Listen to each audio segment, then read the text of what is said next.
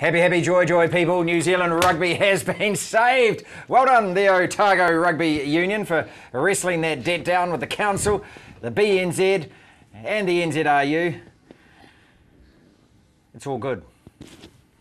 Glen, we're back. It's not good. What do you mean? It's not good. How can- People think we've won the World Cup and Otago rugby's been saved. This is just the start of massive problems Oh, for New explain Zealand yourself rugby. then. I'll give you a couple well, of the. Waikato Union, for instance, are $700,000 in debt. Huh. This is just the start of it all, Martin. It's just, we, we're a small Sponsorship rugby is country. pouring We in. We're the biggest brand in the world. to maintain rugby as it is Well, at that's the the good thing, you see, because these players are going to take a pay cut, $290,000. They're just getting their contracts, they're ripping them up, and they're saying, we're going to work for less. What a load of. How Exactly. many are they going to stay? The problem is we can't afford. All Blacks and NPC rugby. That's what we can't afford, because they don't play. Exactly. You're with you on this one. It's a massive paradox for New Zealand rugby at the moment. How on earth we can maintain and afford to continue paying our players at the current rate without losing them overseas? All these clowns that say the NPC should be an amateur competition, they need bullets because we need to have NPC rugby professional because otherwise we've lost our players